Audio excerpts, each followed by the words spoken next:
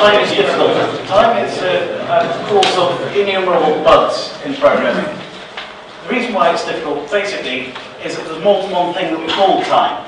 And we've only relatively recently learned this. We haven't quite caught on to all, all of the ramifications. By relatively recently, I mean the 1890s. Um, up, up, until 1890, uh, it, it, was all nice, nice and simple. The, the, most stable clock anyone knew about was the rotating Earth. Uh, in particular, decent pendulum clocks in the Victorian era, uh, we were all using mean solar time. And the International Meridian Conference in 1884 decided on the Greenwich Meridian, passing through the, uh, the Royal Observatory in Greenwich, uh, as being the international prime meridian.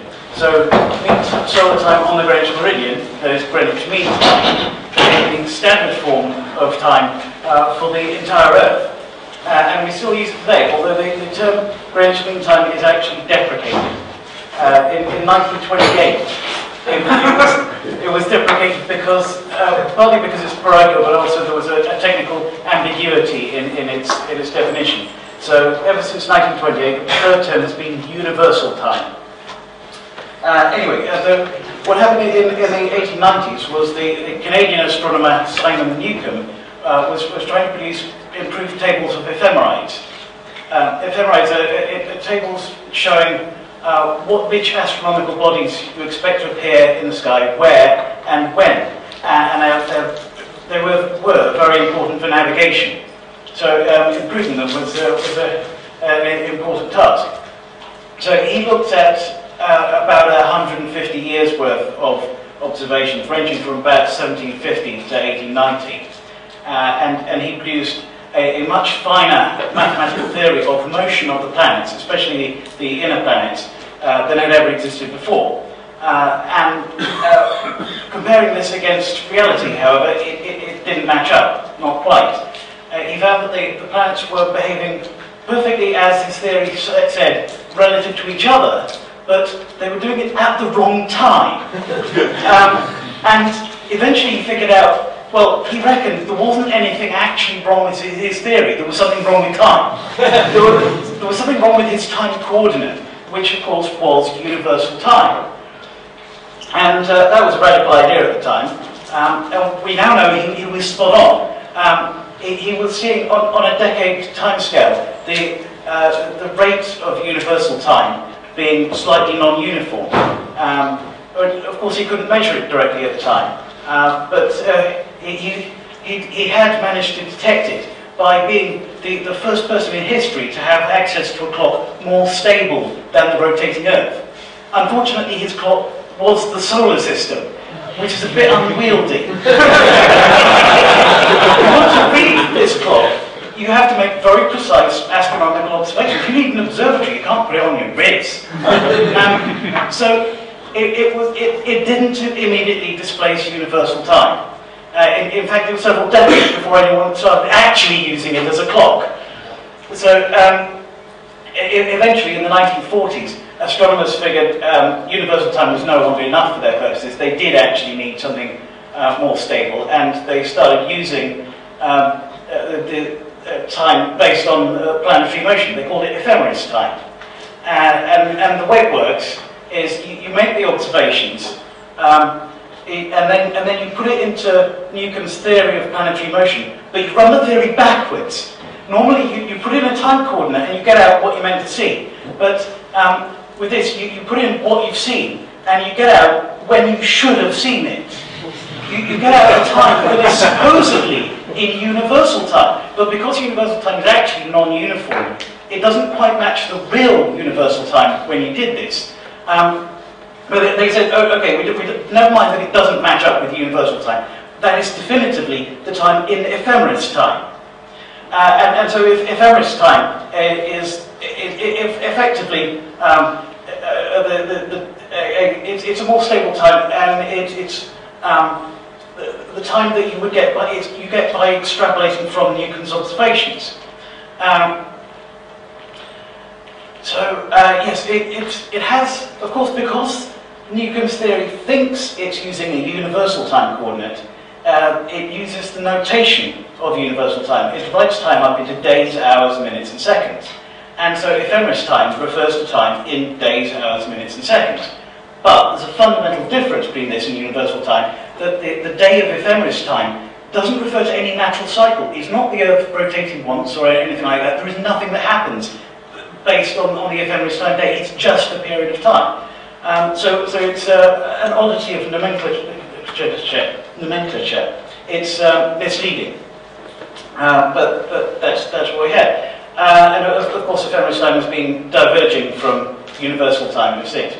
Um, so for, for anyone who's not an astronomer, uh, things, things changed uh, really uh, from the, working back from the 1890s, things changed uh, when the technology for artificial clocks got better.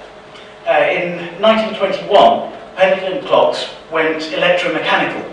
The, the best electromechanical pendulum clock um, was accurate to a few milliseconds per day. Very good for a mechanical device. Uh, and, and that was precise enough uh, to, to measure some non-uniformity in universal time. It actually measured seasonal variations in the rate of the Earth's rotation.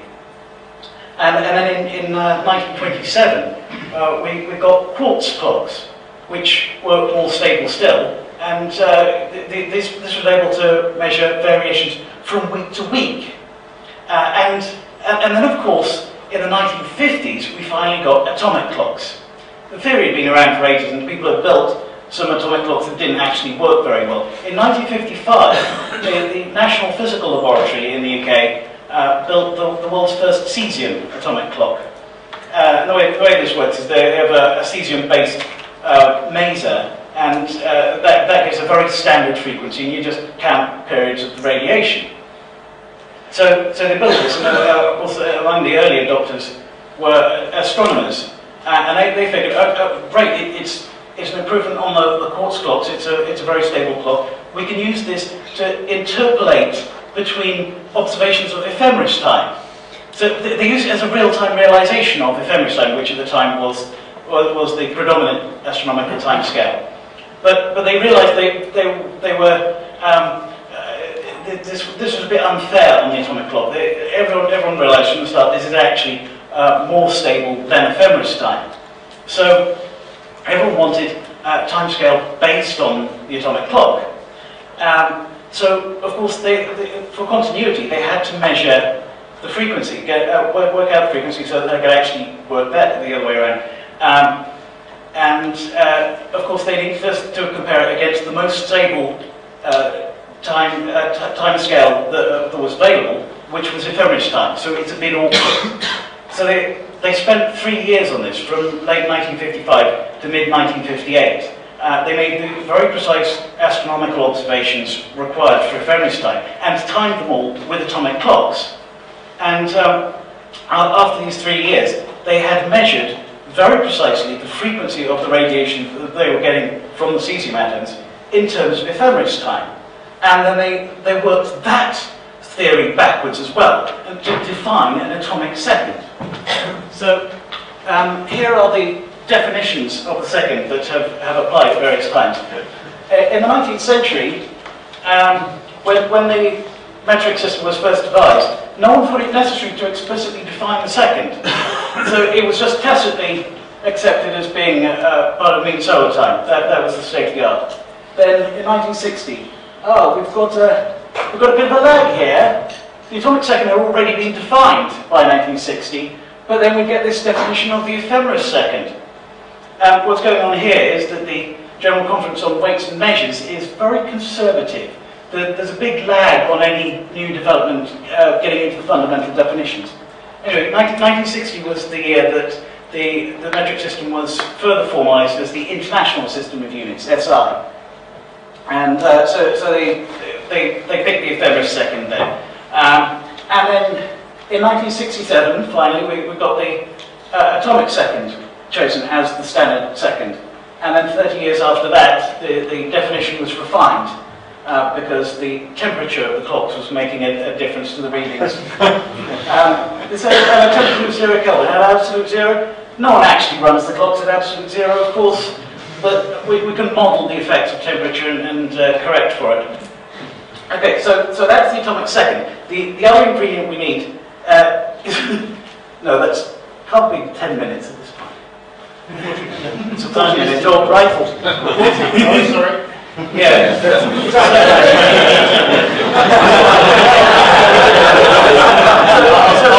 I'll just like So the, other- the other thing we need is, uh, well, we need a starting point in a way of counting. And uh, of course, the, sort of- the way you run an atomic clock basically is, is you count um, rate periods of, of this radiation. And you could just say, well, here's our starting point, this is zero, and count the periods of the radiation and say, well, there's n periods of radiation further on. Uh, or, of course, with the atomic second defined, we can say, well, so many seconds long. Um, but, but they didn't do that. Uh, they, they instead adopted something very similar to what ephemeris time had done. They, again, divided time up into days, hours, minutes, and seconds. Um, so we have the, the, the atomic second implicitly defines an atomic day of 86,400 atomic seconds. Again, it's not a natural cycle. It's just a period of time. Uh, but uh, so, um, so it's a bit misleading again. Uh, so anyway, so they needed uh, a starting point, and they, they they could, in principle, have tried to synchronize it with a ephemeris time, but that would have been very awkward. So instead, they synchronized it with universal time. Uh, retrospectively, uh, atomic time, atomic time scale, which we now know as International Atomic Time, though it, it, it didn't gain that name until 1971, um, they, they, retrospectively synchronized it with universal time at the beginning of 1958, and um, since then it's just counted atomic seconds, and of course it's diverged from universal time. Um, now, if you were to just count seconds, we're, we've almost reached 1.7 billion seconds. It, it, it, the milestone's reached in a couple of days' time. We'll all have time tea parties about it. uh, yeah, so, so that's, that's, uh, that's atomic time. Um, the, the, the next thing I need to talk about is radio time signals. Uh, it's, it's about dissemination of time. It's a very, very important aspect of a time scale. Uh, the first radio time signal started in, in 1905. And of course, they were using the best technology at the time, which was pure mechanical pendulum clocks. Uh, and they, they, synchronized them to universal time, but of course had to keep adjusting them to keep them synchronized. Uh, and, and, as the clock technology improved, they, um, they, they, adopted the new technology. And, and, by the time they got to, uh, to using atomic clocks, they, things, things had changed around. Instead of having to keep adjusting the clock to keep it accurate, now the clock's more accurate than the universal time that they want to transmit. So, so to, to keep adjusting it, to worsen it, this would be perverse. So, um, in, a, in, a, rather radical move, the National Bureau of Standards in the US uh, started, started in 1956. They, this before the atomic second had been defined. Uh, they, they, took uh, an atomic oscillator, uh, calibrated it to tick uh, seconds of universal time at the length they were at the time, And then, and then they left it, let it run and let it drift away from UT. And when it got far enough away, far enough to, for them to notice, um, they, they put in a jump. They, they jumped the, the time signals by 20 milliseconds. Uh, and they, they went on using a lot of these small jumps and uh, less frequently changing the, the frequency to match how universal time had changed. Uh, and all, all this was controversial at the time, uh, but the, the other time bureaus quickly recognized that, that this was actually a much better way of, uh, of managing things. And furthermore, they, they had the option, they, they, they could synchronize the, um, their, their time signals with each other much more precisely than they could synchronize to universal time. Uh, and after the, the, the, atomic second had been defined, after we had uh, international atomic time started, uh, so uh, an international agreement was reached on what timescale ought to be broadcast. And, and what they agreed was they would use uh, an off, they would use, um, they would transmit at a, a, frequency that's slightly offset from the atomic frequency. They would offset it by a nice round number in atomic second, essentially atomic hertz. And um, they, they would introduce jumps of 50 milliseconds at a time, uh, but only, only at the end of a month and they would only change frequency at the end of the year. And this is what they did.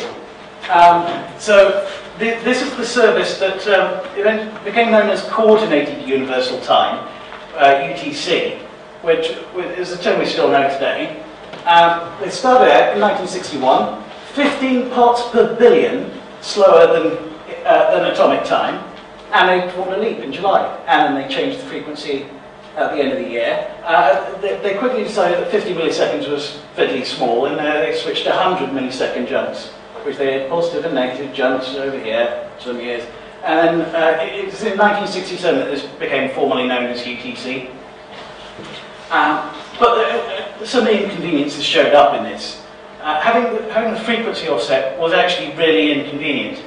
Um, if, if you could, remember they have two seconds that are slightly different values, and they've got, they've got two important frequencies to deal with in, in, in transmitting the signal. There's the, uh, the time, the, the period of the second markers, and also the carrier frequency. And of course, the carrier frequency needs to be a fixed frequency, so that, that uses the atomic standard purely. But then the, um, the second markers are more like universal time, they're at this offset. And, and, and that, that's all good. It would be really nice if you could phase lock the two together. And so they said, why don't we drop the frequency offset, just use the atomic frequency, uh, and rely entirely on jumps. Uh, and of course, if they don't that, they're going to be jumping a lot more than they were before. So 100 milliseconds is a bit small, but let's do whole second jumps. And so this is what they did starting in 1972. End of 1971, they needed this irregular jump um, in, in, order, in order to get UTC to an integer number of seconds offset from TAI. And from then on, they used pure atomic frequency and whole second jumps. And the jumps are only in uh, June and December. Uh, and that's what we know as leap seconds. And this is the form of UTC that's still going today. Uh, and I'll show you, let's look at those jumps in a little more detail. You can see how awkward this was. The, the jumps are all nice round numbers of atomic seconds, but in UTC seconds, how long was this day in UTC? awkward. awkward. Um, so, so that's, uh, that's what time is being broadcast today. What happens if you actually want universal time today? Well, um, if, you, are actually interested in how the Earth is rotating, um, first of all, the, the, term UT, universal time, is no longer sufficient. We've got multiple forms of UT, not least UTC. Um, the primary form, if you just want uh, mean solar time on the prime meridian, it's called UT1. And um, then if you want any detail about it, you ask the International Earth Rotation Service. Imagine a bunch of men standing at the North Pole with a big handle.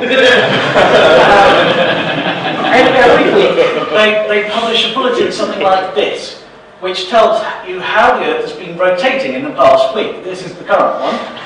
X, X and Y here are pole, it's about polar motion. The, um, the, this crust wobbles slightly, it, it's, uh, the, the axis of rotation is in, in a consistent place. Uh, but the, the, main rotational part is described over here. It's described as a difference between UT1 and UTC. UTC is a, is a convenient reference point here because um, for, for this purpose it's essentially an atomic timescale. It's effectively measuring actual time. Uh, and it, it's, a, it's a convenient reference point here because it's tracking UT1. So this difference remains quite small. Uh, it, it's, it's required to, to stay under 0.9 seconds in either direction. So you can see that this is changing. We're, um, was it, it's changing by about a millisecond per day at the moment. Um, yeah, uh, so that's, uh, that's what was measured over the past week. And they, in addition to this, they published predictions a year ahead. Um, they, they, internally, they predict a lot further ahead than this. This is all they publish. Um, so here we've, we've, got, we've got X and Y again, and here's how uh, UT1 is evolving, and you can see that by this time next year, we, we're really going to be due for another leap second. Uh, we, we will have it at the end of 2012, if not uh, in June 2012. Um, whether we'll actually have it at Thursday, we don't, we don't yet know, because the, the IERS decides, and they haven't decided yet, or at least they haven't told us. Every six months they publish something like this. Um, remember they're, they're only considering June and December, uh, and every six months they, they mail out this to say there's going to be a jump at the next opportunity. This is the last one they published, which tells there won't be a jump at the end of 2011 uh, for June 2012, they're, they undecided, we'll find out sometime in January. Um, yeah, so that's, uh, that's how you deal with universal time. That should be everything. Oh, except there's a complication that I haven't mentioned yet. I've, I've implicitly assumed throughout all of this that time is the same for everyone. If I describe some time in ephemeris time or atomic time or, uh, or, or, or, a duration, as, as long as I'm specifying which time scale it's on, I've, I've assumed that it's the same for everyone. But since the work of Einstein, we know that it's not. the, now, the, since his um, theory of relativity, first published in 1905, we, we know that the the time you experience depends on your motion and your altitude. Um, and this, this became noticed in, the, in, in International Atomic Time in the 1970s. They found that the clocks, a couple of hundred clocks contributing to atomic time uh, in metrological laboratories all over the world. And they found they were all, they were all ticking at different rates. Not because of any flaw in the clocks, but simply because they're at different altitudes. And so a decision had to be made about which altitude atomic time would pretend to be at. they, decided they were going to standardize on mean sea level. So all the clocks that are not at mean sea level, that's all of them, directions to pretend to sea level. They're all above sea level, which means they tick a little bit faster than a clock would be. So, so they artificially retard the signal uh, and, and, and, and, average all of those. Separate. And I suppose that's sea level as defined by the gravity field, not the Oh, yes, yes it is. The sea level as defined by the gravity field. There's actually, it's it's even more interesting than that. Um,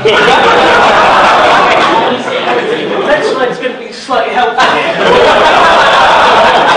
if, if you're dealing with timescales in a modern way, if you're concerned only with the Earth, then you only need to handle this this stuff. If, anything outside the Earth, need more of these slides. We need another dimension or something. On the left-hand side here, we've got physical time. Um, the purest form is, uh, these two are theoretical ideal time scales. So coordinate time. Geocentric coordinate time, TCG. This is um, the time that would be taken by a theoretical ideal clock that's moving with the Earth, but located at infinite altitude.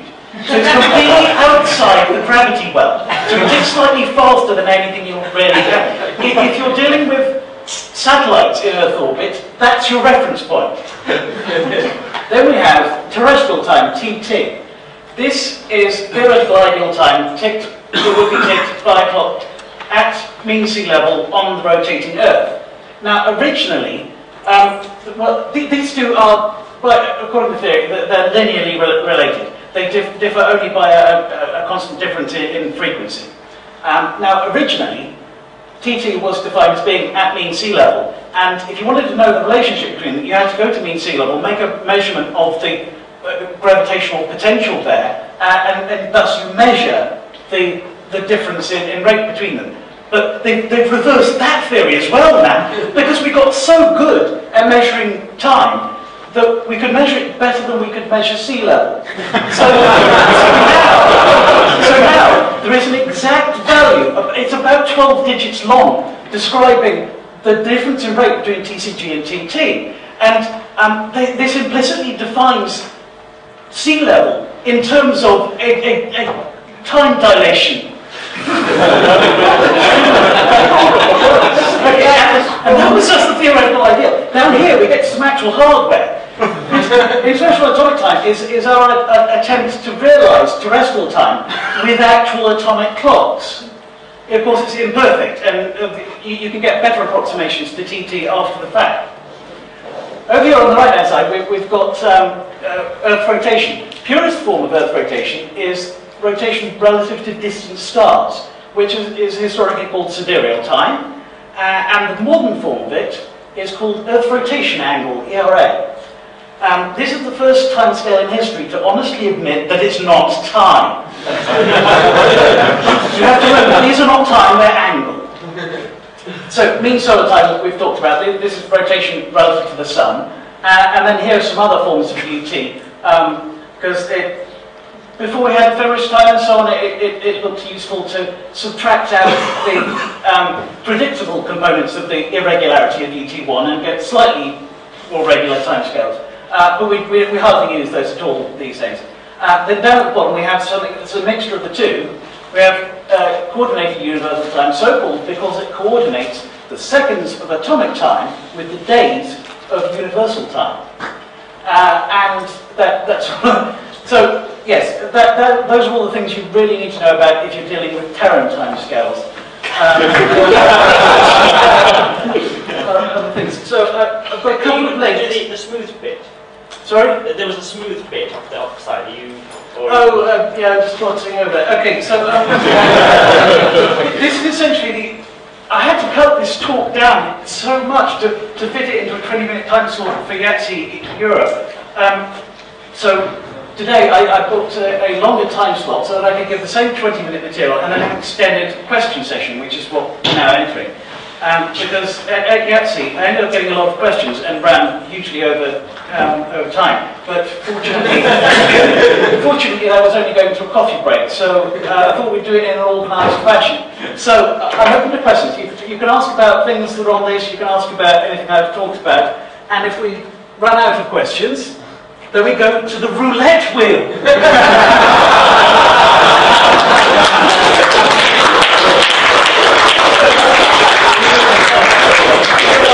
I'll, take the question first. Smooth coordination, yeah. So UTC is a bit awkward to handle because um, most of its days are 86,400 seconds long, but some of them are 86,401 seconds long. Uh, and and there, are there are a lot of things with the inbuilt assumption that you'll get 24 hours or 60 minutes or 60 seconds. Um, uh, if, if you want to maintain uh, 86,400 seconds every day, you have to fudge it somehow. And th- there are various ways you can fudge it. You, you, can, you can just lose, which a lot of code does, um, or you, you, can, you can use UT1, uh, or, or you, can, you can handle the, the leap second. You, you, you, could use a, you could use atomic time, which um, gives you nominal days, but it, it- it's not synchronized to UT. Uh, or this scheme uh, is used, you fudge the, the leap seconds in in an organized way. So in UTC, UTC-SLS, it stands for UTC with smooth leap seconds. Um, the, this, the, this scheme is uh, every day from the inside appears to have exactly 86,400 seconds, but some of them are longer than others. Most of the time, it ticks in perfect synchrony with UTC, but when there's a leap second, um, it spreads that leap second over the last thousand seconds of the day. So when there's positive leap second, the last thousand seconds are slightly longer than they ought to be. Um, so you get the nominal number of seconds exactly. There's well-defined traction between that and UTC. Uh, and the difference is small enough that you won't notice it in, in most situations. Also, it, it was um, recently announced that Google had done something uh, vaguely similar. Uh, they, they needed to handle each seconds. They, um, it was too much work for them to handle it properly everywhere. They, they essentially needed to do a smooth thing. Uh, but they, they did their own. They, they spread it over several hours. Uh, and they, they used um, uh, they, they used a sinusoid to, to bring it in very smoothly because they, they, were they were doing it by line to the NTP servers, whereas UTCS SLS uses a, a, a line segment to do it. Okay, so that's smooth leap seconds. Should we spin the wheel?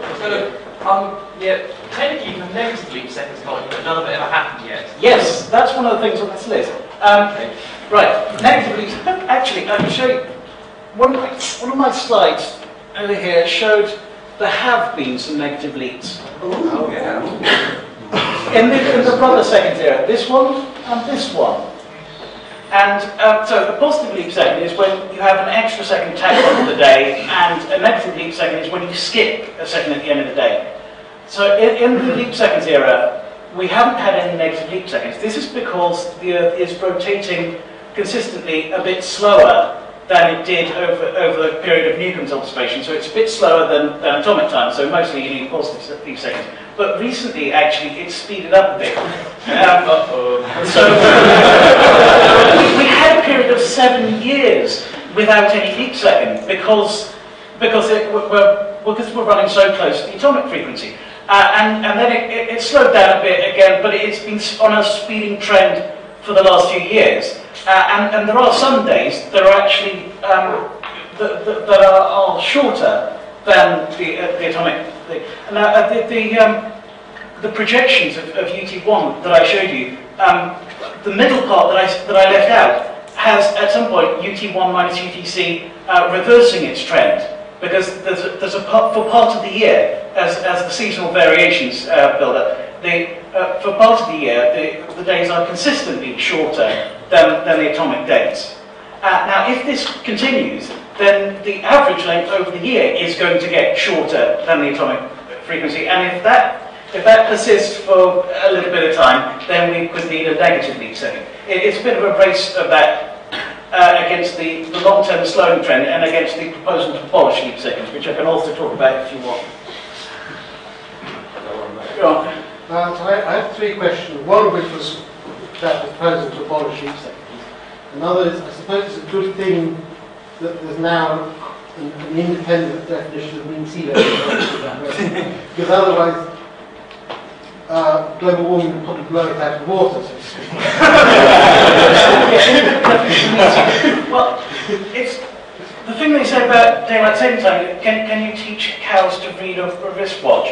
Um, and can we teach the sea to measure time dilation? Probably not. Um, so we, we've got an independent definition of a.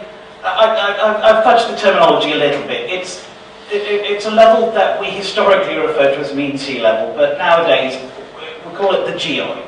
It, it's just it's just a notional plane. Well, it's a notional constant level of gravitational potential. Um, it's, it's not quite the shape we used to think it is. Bumpy. Um, what's your third question? Uh, are there any Perl modules to? Perl modules. Want the wheel! Listen, um, time UTC, this is my strict handling of leap seconds. Um, data, I, I don't really want to rant about models, but um, they- one of the one of, one of my issues with DateTime is that um, it, it thinks it knows about leap seconds, but it, it thinks it knows for sure that there won't be any in the future, and that's wrong. Um, with time UTC, if you ask about a future time beyond the time that, that we know about, it'll say, I don't know. Of, of course, sometimes you do want to fudge it. Time UTC isn't for those things. Time UTC is when when you want to be uh, strictly correct. Uh, and so I'll go to uh, proposal to uh, abolish leap seconds. Um, this been, has been debated for many years, and there's a specific proposal that's going to be looked at, I think, in January. Um, and uh, they're doing it the wrong way. If, if you want a timescale without leap seconds, you can already use it. International Atomic Time is there, or, or UT1 if that's what you need. And if you need continuity with current UTC, then, then fine. Jump from UTC to uh, a constant offset from atomic time. Um, but you, you, can't, you can't really change UTC in that way. Um, there are lots of things that require something like UTC that, uh, that approximates universal time. And if you stop having seconds in UTC, then it will no longer approximate universal time. And it'll break all the things that have built that in. In fact, it won't be a form of universal time anymore. If you, if you want to do that sort of thing, fine, you can declare a new time scale, call it international time, that, that, that was a good proposal. Um, but we, we kind of need the existing UTC to exist, or at least if it doesn't, then don't call anything else UTC. Um, apart legal time in a, lot, of places is based on Greenwich Mean Time, uh, and if, if you redefine UTC, then you, you'll no longer be able to use UTC as a practical uh, equivalent of, of legal time. Uh, so there's at least one group that has said if UTC drops the leap seconds officially, then they're going to continue announcing leap seconds in, equiv in the equivalent manner. because it is a useful service. So, So, so their socials will be on the. there's going to, there, there are going to be leap seconds from at least one group. We hope that one group will um, will get consensus. Uh, it would be not rather convenient if the IERS did it. If, if for political reasons they can't you call it UTC, they, they can call it something else. Uh, I don't know. Um, but, no, Orthodox time. yes, but just, yeah, um, just abolishing leap seconds, no, you, can't, you, you just can't do it that way. So, okay, we've had a demand for the wheel.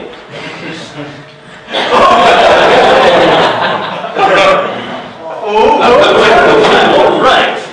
So, um, yeah, I think I showed you about about turn time, you, you could do you could do an equivalent for uh, for another planet.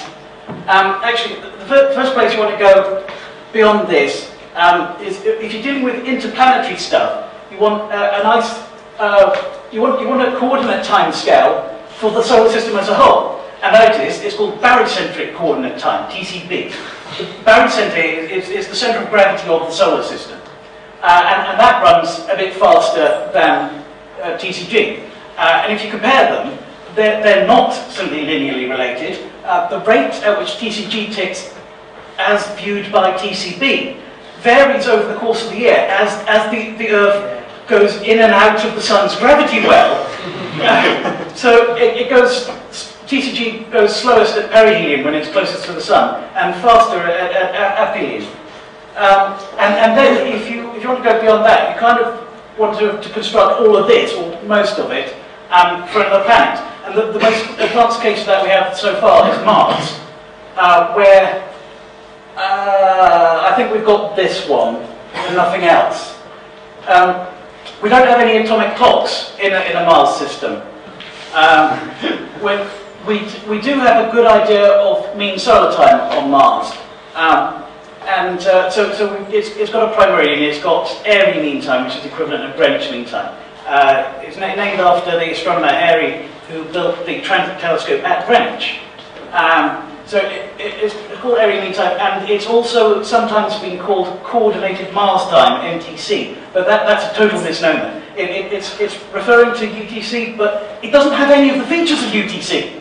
It's just mean solar time. To, to, to get the, the Mars equivalent of UTC, which could be kind of useful, we, we need to have Mars coordinate time, uh, Mars uh, um, surface time, and an atomic realization of that. Um, we, we haven't needed those yet. Um, yes, in general, if, if you're dealing with anything Earth, then you, you, the relativistic reference frame is important. You have to be clear about whose time you're measuring. Um, well, once, you, once you've got that, you get the theory there and, and uh, everything else has to be, built on that. Uh, more questions? So um, UTC says that the day is 86,400 seconds, or maybe plus minus one. Yes. POSIX says that the day is 86,400 seconds. Yeah. POSIX time. Okay. Yes. How do they correlate? How, how does POSIX time correlate with UTC? Badly. when, when, they're, when they're devising the POSIX standard, we didn't have NTP in practice, we didn't have any, any of those things. Um, what was in practice happening was um, uh, computer clocks were set by the operator's wristwatch, which of course was roughly synchronized to, to UT, and you, you, you were lucky if it was in, within five minutes. Um, and, and so they fudged it. Um, well, you, you, can't, you can't blame Ken Thompson and that lot because leap seconds didn't exist when they devised it. Um, but, but POSIX had to deal with it and they, they ducked the issue. They said that each day will be exactly 86,400 increments of, of POSIX time. Um, and, and they, they specified a, an expression for time in terms of days, hours, minutes, and seconds uh, of UTC, uh, which, rather, which implies a, a uh, discontinuity around leap seconds. Officially, what happens uh, is that the, the time increases as normal through the leap second, uh, and, and the POSIX time at that point appears to be at the beginning of the next day. Then at the end of the leap second, it jumps backwards by one to, to go normal again. So um, what I actually wrote, I, I, wrote the most of the current Wikipedia article on POSIX time, and the, the way I expressed that was um, the POSIX time is so similar to a linear count of seconds that it is often mistaken for one. Of course, it was originally intended to be a linear count of seconds. It was also intended to be simply convertible with, with universal time, uh, and the two are in conflict. Um, and what, what, uh, what Unix does in practice uh, isn't what POSIX says. Uh, the, the NTP document says you, you should you get the discontinuity at the beginning of the leap second, repeat the effectively repeats last second of the day. Uh, if you're using Linux, it doesn't do either of those. Uh, it, it, waits until uh, it, it, it, triggers the change uh, at the beginning of the leap second, but doesn't actually walk the time backward until uh, a few milliseconds later. Uh, if, if, you're very careful, if you use the, the NTP-based uh, interfaces for, for receiving time, for, for reading the time, you, you can decode it. It gives you enough flags to, to tell you what's going on and you can work out what the time really is. Uh, and I, I produce a module to do that called Time UTC Now. Um, So, so in a, a UTC, sorry, in a leap second event, if you were printing the second value out on your Linux machine, it would show the same value for two seconds. Is that right? Uh, yeah, if, if- you're just printing out the, the raw Unix time value, you will get repeats uh, during a leap second. Um, it gets a lot less confusing if you're printing out a fractional version of it. If you just print out the integer, it, it goes fairly haywire. Uh, but if, if you show fractions, then there's, there's a defined, definite point at which it jumps back by one. Um, in, in principle, you could uh, get POSIX time to, to agree with UTC much better by using UTC SLS or something like that. But I, I don't know of any Unix that does that. Uh, I, think officially we're out of time. There, there is actually someone due on next. So uh, thank you all for listening.